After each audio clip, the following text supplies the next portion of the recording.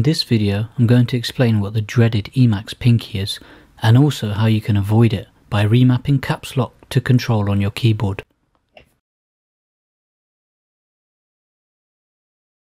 The keyboard in the image shown has the standard PC layout for its keys. Although the keyboard shown is American and other keyboard types may have slight variations, in general most PC keyboards are very similar to this one. The caps lock key is placed to the left of the letter A, and there are also two control keys, but most people find themselves using the control key on the bottom left as their default. In this image you can see the common layout for an Apple keyboard. Just like the PC keyboard there are two control keys, and just like the PC keyboard most people find themselves using the control key to the bottom left as their default.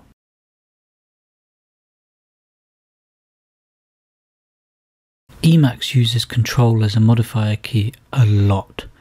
Once you are proficient with Emacs, you will find yourself using it all the time, whether it is to navigate around or to cut and paste.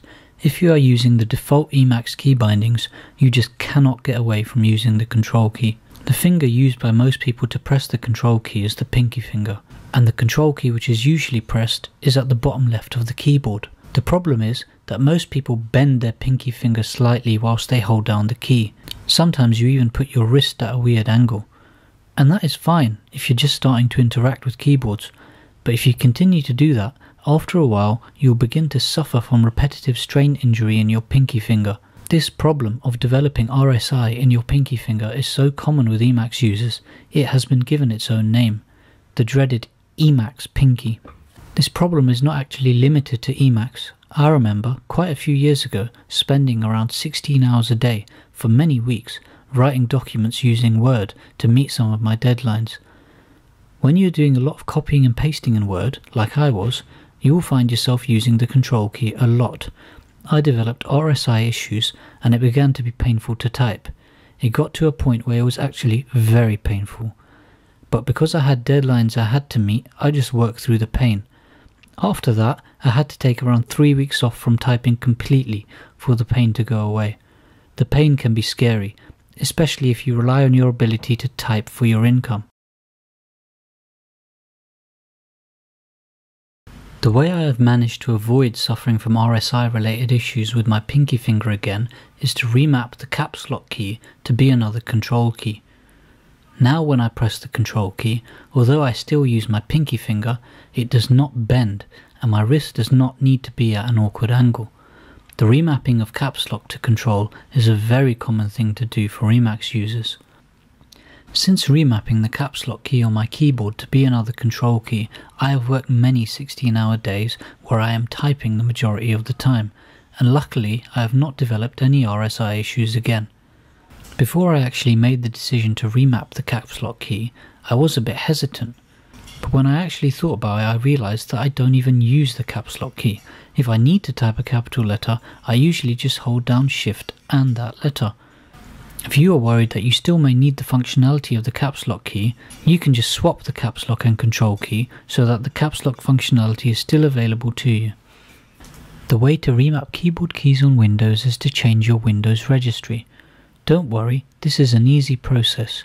I've already created the registry entries and you just need to download the relevant one, open it up and grant it access to make the change. Head on over to the GitHub page for the LigerLearn Emacs course. The direct link to the page will be in the video description. It may look slightly different in the future, but there should be a directory called Remapping Caps Lock. Click the directory and you will see three files Caps lock to control.reg. This file contains the relevant registry entry to map the caps lock key to be another control key. Use this if you don't mind losing the functionality of the caps lock key. This is the one I use. The second file, remove custom keymappings.reg, removes any custom key mapping so that your keyboard goes back to its default. The third file, swap caps lock and left control.reg, swaps the caps lock key with the left control key. That way, if you do need the functionality of the caps lock key, it will still be available to you when you press the left control key. For this video I'm going to choose the first option. You can choose whichever one you want. You need to click the file and then click the raw button. Once here, you can right click the page and choose to save as. Make sure that you change the type to all files, otherwise it will get saved as a text file and won't work. Once you have saved the file, you just need to open it and then grant it permission to make changes to your registry. Anytime you run one of these files, you will need to restart Windows for it to take effect. Once restarted, you can open any program on the computer and Caps Lock will then be treated like control. Compared to Windows, remapping the Caps Lock key is very simple on a Mac. You just need to click on System Preferences, from there click on Keyboard, and then make sure the Keyboard tab is pressed and click Modifier Keys. On the Modifier Keys prompt, you can choose to remap any modifier key to suit your own preference. Here, I'm just going to choose to remap Caps Lock to be another control key. You may need to restart your computer for changes to take effect, but it's pretty much as simple as that. There you have it. You now understand what the dreaded Emacs Pinky is and how you can easily avoid it.